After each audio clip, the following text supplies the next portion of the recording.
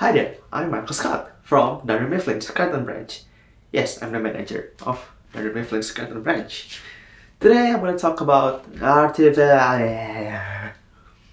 artificial intelligence. Michael, artificial intelligence. I know what this is stupid. Let me tell you a story about how I got my first undies, shall we? And that's why you should never invite Michael Scott to talk about artificial intelligence. As you may have gathered, that's not actually Michael Scott nor Steve Carell. But instead, it is me, but with the help of AI, I am able to put his face onto mine. Cool, huh? Or spooky. Tag along as we take a look at deepfake in video making.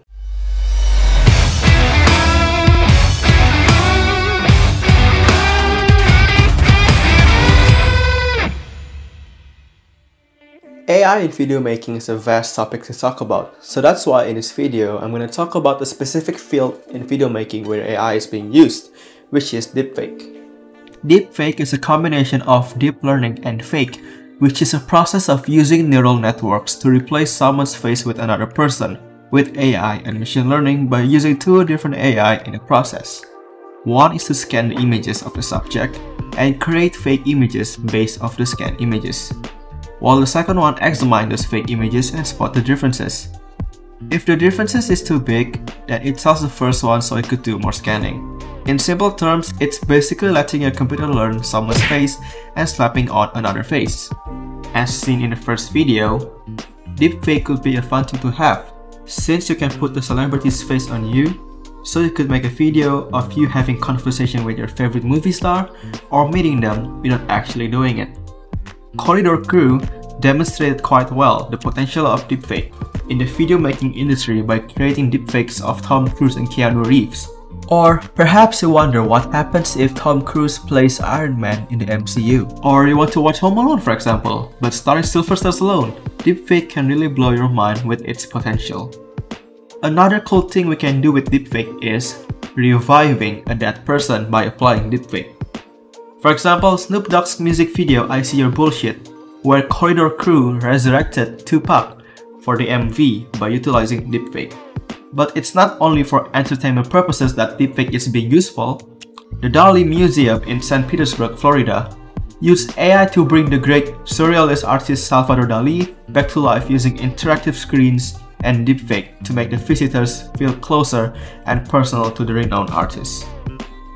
As amazing as it sounds to have Steve Carell's face on you, deepfake has a set of problems which has been a big issue since its release in 2017 with a video featuring Barack Obama using deepfake. You can basically put anyone's face on another person, which means you have complete control on the type of video you want to make. Your imagination is the limit. You can literally be anyone. Everyone can be anyone, even if they are no one. Take that too far, you might end up with something unethical, which traces back to its root. Back when it was introduced in 2017, a video unfortunately surfaced to demonstrate how dangerous deepfake is, with a pornographic video of Wonder Woman's Gal Gadot, and many other actors fell as victims ever since, which is unfortunate. Another problem with deepfake is of course the use of it in the world of politics. Fake news was a problem in the 2016 US election, but in 2020, some argues that deepfake is a problem we have to face. Deepfake could be a more convincing way to distribute fake news. Professor Hao Li of the University of Southern California tells the BBC that the biggest threat is the use of deepfake for political disinformation campaigns.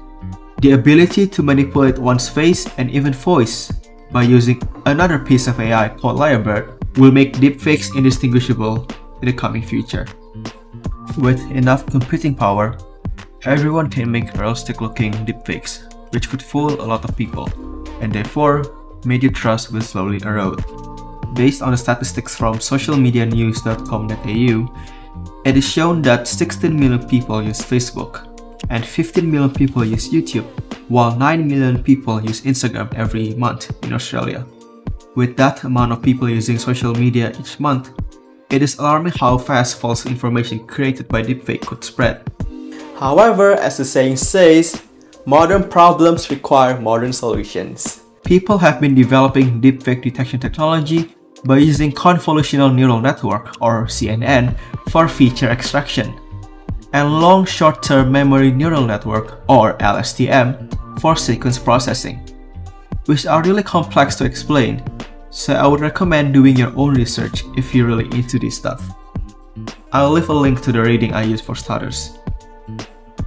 Another example of deepfake detection technology is the one developed by UC Berkeley researchers by analyzing data from video samples of a subject to learn differential reactions, which compares a subject's real movements which include head tilt, eyebrows, chin motion to the deepfake video. It's important for us to know the threat we have to face today, so we can have the right assumption and be critical with what we see.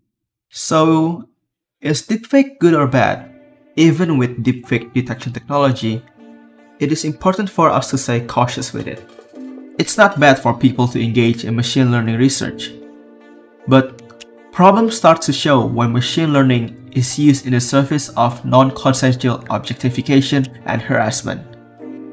Deepfake is a neutral technology like many other technologies to date, so it all goes back to the person or people using it, which would affect how everyone perceives deepfake. So there you have it. Deepfake in video making. Sounds fun, huh? Well, it sure has been fun making this video. I'll tell you, it's been really fun. If you like this video and you found it useful, hit that like button and subscribe. But if you don't, just click that dislike button and I'll see you guys in the next video.